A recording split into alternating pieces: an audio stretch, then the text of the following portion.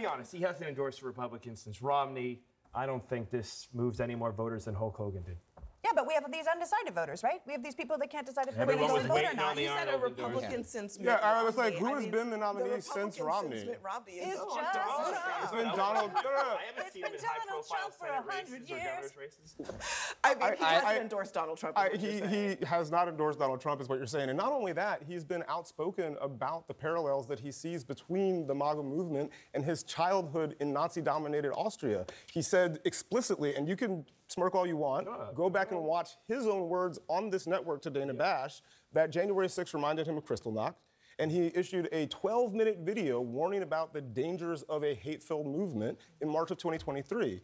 I, I think it- it's not a surprise given who he has been and, and the communities that he's embraced over the last several decades. And believe me, I disagree with Arnold Schwarzenegger on a lot of politics. But fundamentally, like he says, I'm an American first and a Republican second. And it's very clear to him who the choice is that can best give us an opportunity to become the country that he so loves. Yeah, and That I would was- say, as a, a fellow immigrant, I'm also someone that chose America as my chosen country. Arnold Schwarzenegger is that too. And I think sometimes when you come to a country and you buy, you know, the red, white, and blue, and the stars and stripes, and the people from anywhere can make it. If they just work hard enough thing, you have this faith in American patriotism and, and the, the America that you love. And I would say I'm an American first, and then not- I'm currently a Democrat. I think I'm a liberal, um, and he's an American first and a Republican. And I think the thing is, is that we can really see that this one character, who we've now had, as we've said, for three different campaign seasons, as the same figure for the Republican Party, is just not what America is supposed to stand for. It's not the country he bought into and moved to. It's not the country I bought into and moved to.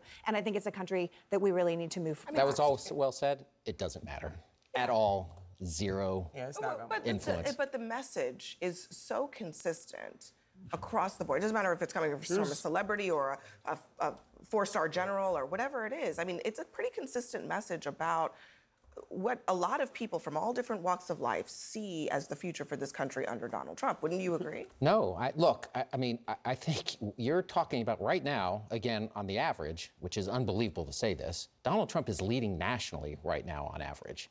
A majority, or at least a plurality. Based on Wait, what based polls? on what Based on? Real Clear Politics Popular- average. Popular Beyond vote or electoral Thiel's vote? polls? Electoral vote or popular vote? Popular vote right think, I now. don't, I don't think National. we want to fight over over the. I think people should of just go check online I, I and think we can it's, get an answer Fair, from It's fair to say that this is a race within the margin of error at the popular That's vote level. what matters and at this the, point. At the battleground state level.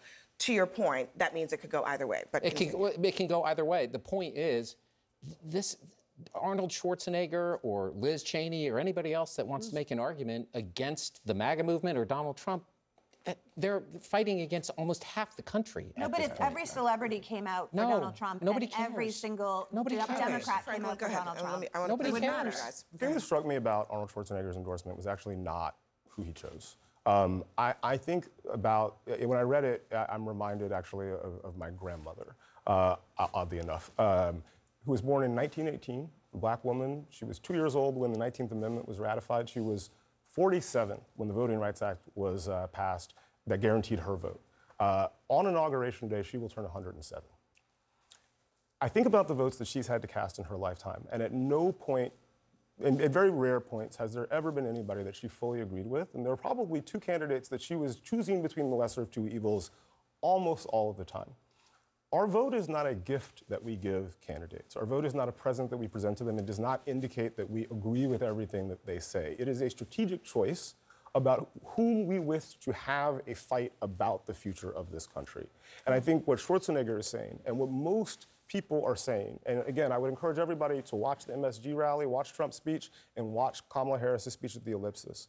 Who do you want to have a fight about the future of this country with? And who do you think will allow you to have a reasonable argument who will listen to your opinion and then do what they think is best, having consumed all of those opinions, and accept the results that as they are uh, as they are determined. I don't think anybody can reasonably say that about Donald Trump. He won't even accept the results of an election that he lost. Can I can I throw one more celebrity into the mix? But be, but because the message is really interesting. Listen to this. Come on, boys. Let's make America great again. It's your turn, buddy. Before you cast your vote in this election, think about how it'll impact the people you care about the most. Daddy!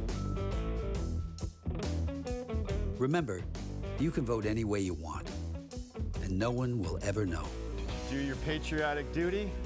You bet I did, brother. What happens in the booth stays in the booth. That's the voice of George Clooney. Well, but he's people- sending a message to a lot of white men Yeah. there. I mean, but very well made commercial. A lot of people might not know that that is his voice.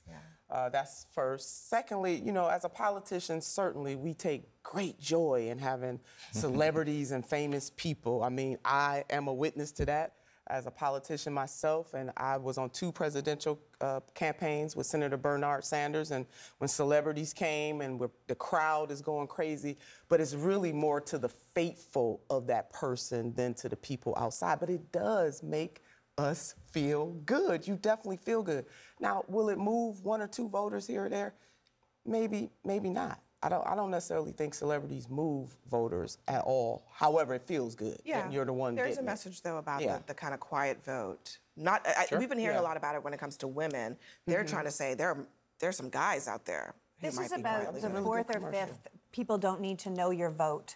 Um, Yeah. ad that we're seeing. A lot of them are ar- arranged towards women, and, and understandably so. Um, but I think it's like, what is wrong with your party if what you're saying is, don't tell anyone your vote, it'll be okay. Secretly vote for the person you know is best. But don't tell your friends, don't tell your church group, don't tell your bros, don't tell your husband, because you're in danger if you do. I think it's a sad state of affairs that we're in a position where this is what we're doing.